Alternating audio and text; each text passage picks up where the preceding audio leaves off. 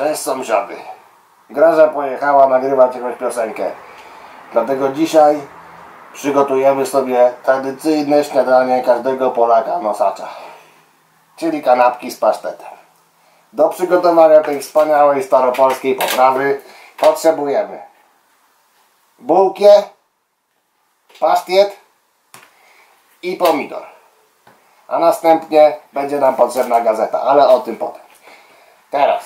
Bierzemy bułkę, krajemy. O, ciężko. Kurwa, tępy nóż, kurwa. Mm, Kurwa. No prawie się udało. Kurwa. Okej. Otwieramy pasztet. Proszę bardzo, pyszny pasztet. Nakładamy tutaj troszeczkę.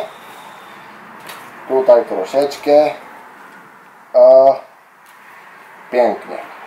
Teraz bierzemy pomidora i wypierdalamy go do kosza, bo jest GMO, a GMO to gówno. Dziękuję. Teraz składamy kanapkę w całość i możemy cieszyć się drugim śniadaniem. Jeżeli chcemy zabrać ją do pracy, polecam wziąć taką gazetkę, urwać sobie i zapakować. Co będziemy marnować pieniądze na folię? Ciach, ciach, ciach. Proszę bardzo, druga. Cyk i cyk. I wspaniałe śniadanie prawdziwego Polaka, gotowe do pracy.